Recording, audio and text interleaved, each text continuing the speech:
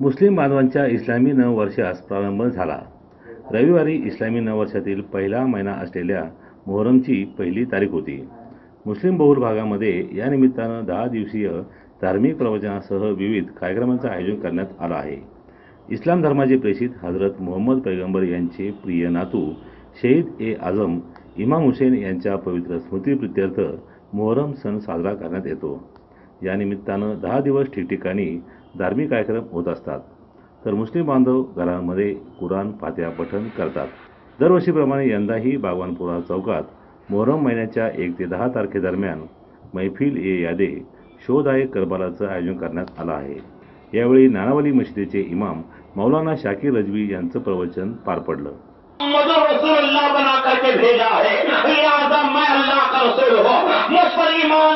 ईमान अहले मक्का ने कहा "ऐ मोहम्मद इब्न अब्दुल्ला तुम ये अजीब और गरीब कैसे बातें कर रहे हो? ये अलग अलग बातें कहाँ से कर रहे हो? तुम एक खुदा की तरफ़ बुला रहे हो? क्या एक खुदा है? तो मेरे मुस्तफ़ा ने फरमाया हाँ हाँ एक रब्बुल आलमीन है, एक परवरदिगार आलम है, वही वादुल्ला शरीफ है। उसी रब की तरफ़ मैं तुम्हें दावत देने के लिए आया हूँ। मैं उसी रब की तरफ़ से भेजा हुआ तुम्हारी तरफ़ सच्चा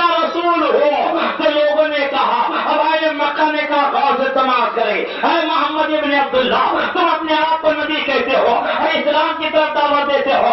जरा हमें ये तो बताओ क्या कोई तुम पर है जो ईमान लाने वाला हो तो बताओ। है कोई तुम्हारा कलमा पढ़ने वाला तो बताओ तो मेरे आका मुस्कुरा करके फरमाते हैं हाँ हाँ मुझ पर ईमान लाने वाले मौजूद है। अवाम मक्का ने कहा बाबा बाशिंदे मक्का मक्का मक्का ने कहा मक्का के बाशिंदों ने कहा वो कौन है जो तुम पर ईमान लाया है तो मेरे आका बोल उठे मेरे आका इशार फरमाते हैं मुझ पर मेरी बीवी जनाबे खदीजतुल कुबरा रज़ियल्लाहु मुझ पर ईमान ले है और उसने मेरा कलमा पढ़ी है वो सबसे पहले ईमान लाई है। मक्का के बाशिंदों ने कहा दहा दिवस प्रवचन सुरू राहणार आहे. या दरम्यान भाविकांनी उपस्थित राहावं असं आवाहन नवजवान बागवानपुरा यांच्यातर्फे करण्यात आलं आहे. गुड्डू शेख दिशानू नाशिक.